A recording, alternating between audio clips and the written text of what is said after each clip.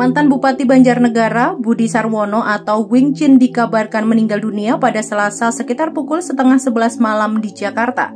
Kabar duka tersebut kali pertama disampaikan putrinya, Lasmi Indaryani, melalui akun Instagramnya. Bersamaan dengan kabar duka tersebut, Lasmi juga menjelaskan bahwa almarhum akan disemayamkan di Banjarnegara, tepatnya di Jalan DI Panjaitan Raya nomor 1 Banjarnegara. Kabar duka meninggalnya Budi Sarwono juga dibenarkan Sekretaris Daerah Banjarnegara Indarto. Namun demikian belum diperoleh informasi mengenai penyebab kematian Budi Sarwono. Informasi yang dihimpun Tribunnews menyebutkan bahwa Budi Sarwono sebelumnya sempat dirawat di rumah sakit.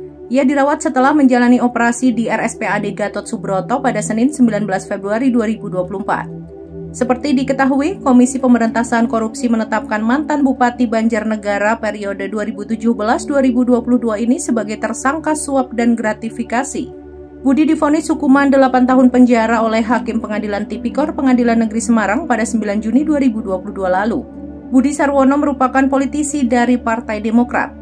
Ia memiliki latar belakang sebagai pengusaha dan pernah menjadi Direktur Utama PT Bumi Rejo Banjarnegara. Ayah dua anak ini juga tercatat pernah menjadi Ketua Umum Asosiasi Aspal Beton Indonesia, Dewan Penasehat Gabungan Pelaksana Konstruksi Nasional Indonesia Banjarnegara, serta Ketua DPP Persaudaraan Islam Tionghoa Indonesia.